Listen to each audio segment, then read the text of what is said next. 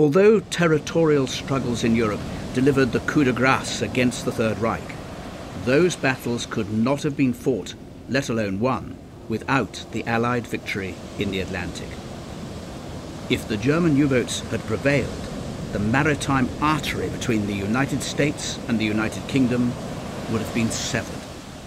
Lacking oil for transport or heating, and without the raw materials required to manufacture weapons of war, it would have been impossible to prosecute the war against Germany.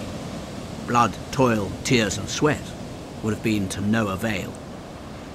Even more fundamentally, in the absence of basic foodstuffs, most of which were imported from Africa, Asia, South America, and the United States, the British people would have faced the prospect, in the words of the military historian John Keegan, of a truly Malthusian decline.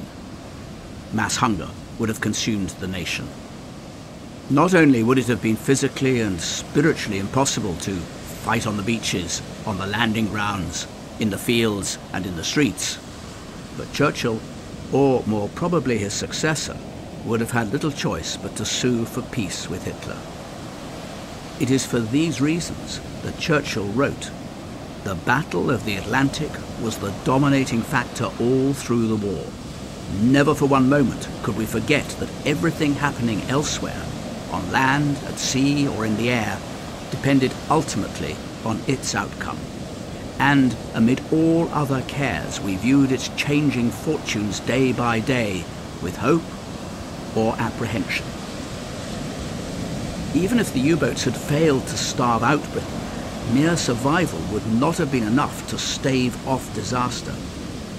Had the German Wolfsrudel, wolf packs, remained free to prowl the ocean at will, they would have prevented the Allied armies from crossing the Atlantic in sufficient numbers to join the British in the invasion of Europe.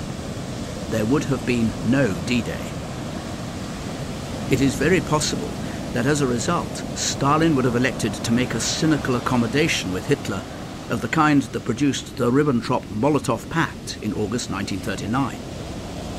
In this case, the outcome of the Second World War in Europe would have been, from the perspective of those who believe in freedom and democracy, catastrophically different.